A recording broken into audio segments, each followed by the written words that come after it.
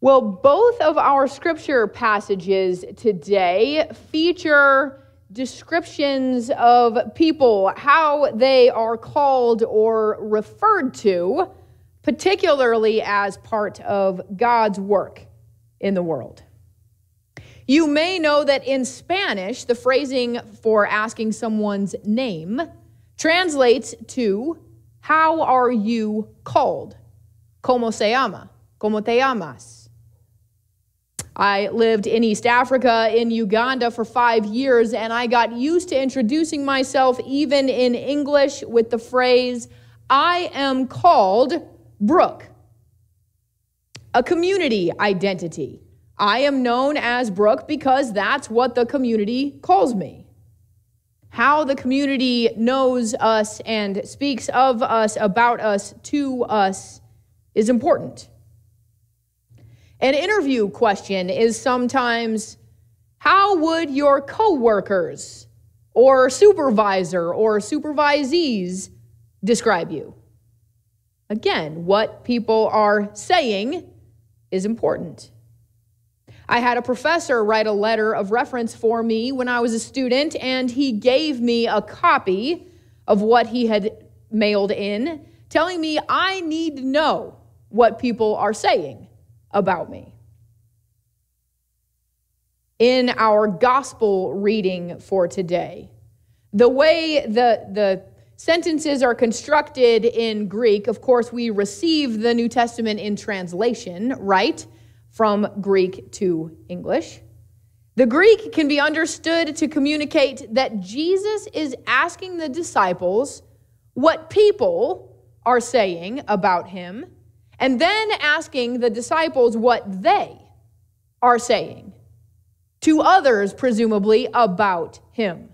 So it's not so much a test for the right answer in the moment. Who do you say that I am? but more of a report on what they've been saying. Jesus is interested in what his disciples, by extension, including us, are telling people about him. So, maybe one of the simple things we learn from this is we should be talking about Jesus.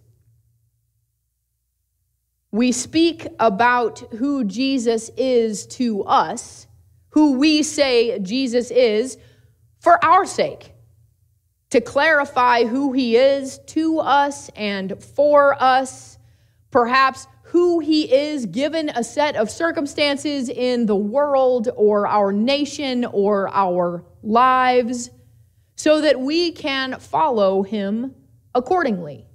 Be part of what he's doing in that set of circumstances.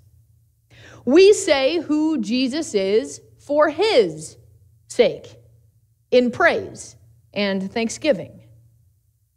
And we say who Jesus is for others, to show and introduce Jesus as we know him, to expand one another's understanding and relationship with Jesus we receive witness by listening to and asking about the stories and experiences of others. How do others know Jesus and experience him? Like the tool in the moment for all ages, we may see something we hadn't seen before or be introduced in a new way. We may learn something gain a different perspective on who Jesus is, who he could be for us in community with others. So the passage is about who people say Jesus is, the ways they talk about him and what they call him or the ways they describe him. A prophet, the Messiah, then Jesus tells Simon Peter who he is, calls him the rock. Peter's insight that Jesus is the Messiah, revealed by God in heaven, as Jesus says, and Peter's willingness to speak it out loud makes him a rock on which the church will be built and strengthened. Now, Peter is named the rock, but if we were to read not much farther in this chapter, just through the next little section immediately following this one in the Gospel of Matthew, Peter is called a stumbling block. The very next verses, Peter doesn't understand the mission of Jesus and how it will be accomplished, and he speaks against it as a hindrance, as Jesus says, to what Jesus is doing. A rock and a stumbling block. In some strange way, this is comforting to me. Jesus knew what he was getting into when he called Peter and the others all the way down to us to serve as the rock for the church. Jesus knew we are also sometimes a stumbling block to ourselves, to one another, to the good news of Jesus. The church is built on the rock and the stumbling block of human community. Sometimes we get it so beautifully right, and sometimes so terribly wrong. And sometimes in the thick of it, it's hard to know the difference, which is one of the reasons why we need one another to be reinforcing who Jesus is, how Jesus calls us to live, is what faithfulness looks like. Like Peter, we keep trying our best, not holding back, responding to the prompting of the Holy Spirit and letting Jesus bring us back when we are in the wrong. We encounter Jesus through one another as a check or a supplement on who we know Jesus to be and how then we live. Today, we wrap up our series on ways of witness, and our gospel verses invite us to speak about who Jesus is, to explore and talk about how we know him to be. The things we say serve as witness, showing people the love and grace of Christ. In addition to speaking about who Jesus is, we share and live his love and grace, his better way of being in the world. Some of us might be thinking with that last statement I made, good. Yeah, I can live the love of Jesus, but it's hard to talk about it. But were you paying attention to the Romans reading? I memorized the first verse of this chapter from a young age. But even so, when I really hear it, it's a lot. I memorized it in King James, as will be clear. I beseech you, therefore, brethren, by the mercies of God, present your bodies a living sacrifice, holy and acceptable to God, which is your reasonable service. Sacrifice your body and its reasonable service? Maybe this living the love of Jesus thing isn't the easier way after all. This language in Romans makes me think of athletic competitions where someone may exhort a teammate sacrifice your body at least in the kinds of good fun I am likely to engage in, of course, they would be kidding. Though there are surely diehards who do sacrifice their bodies and expect their teammates to do the same. If we think Jesus' question about who we will say he is hits hard, how about Paul's plea or appeal for us to sacrifice our bodies? Or rather, present our bodies as living sacrifices.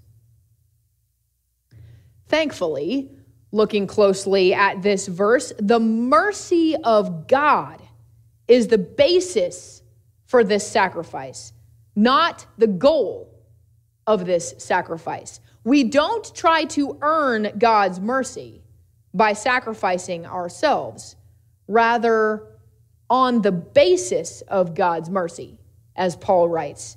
We are invited to be so devoted to living God's love and grace that we act it out in our bodies. Another look at the language of the verse. You might notice bodies is plural, a living sacrifice is singular. We are to be together a living sacrifice.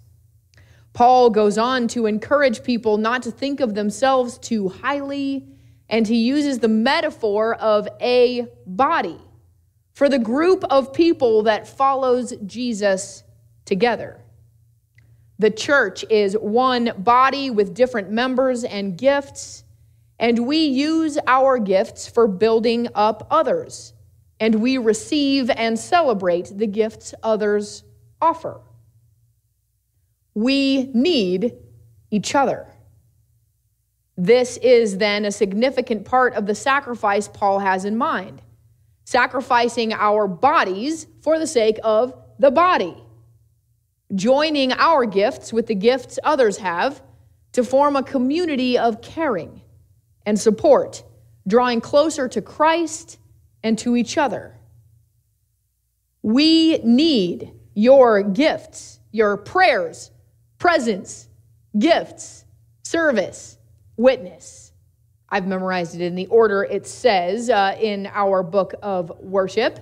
It is, of course, you remember, right, on the back of your name tag, but we are focusing on the word that somehow Desert Skies has forgotten up to the present witness which has been, by the way, in our book of worship for at least a couple quadrennium. You know what a quadrennium is? Four years. We revise our things. Yeah, all that polity stuff. Anyway, we need you, your prayers, presence, gifts, service, and witness. This is then the mercy of God. We have each other on the journey of life and faith. I am so grateful for you, for the ways you witness to the love of Christ and the work of God among us, how you welcome me and help me refine my gifts and offer and explore your gifts on behalf of our community in and beyond our congregation. We've been thinking about our own stories of witness throughout this series. I hope you've made efforts to bring your stories to mind, even to share them with others. May we continue to do that. Specifically, we are invited or challenged this week with how will you speak about who Jesus is? Perhaps the ways you're discovering and relating to Jesus now are different than they were for you. How can you talk about that? And then, how will you utilize your body on behalf of the body?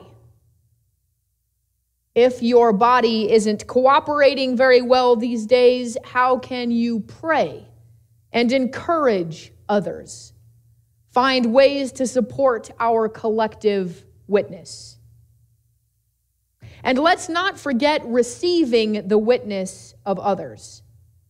Let's look for ways individuals or communities show the good news to us in word and deed.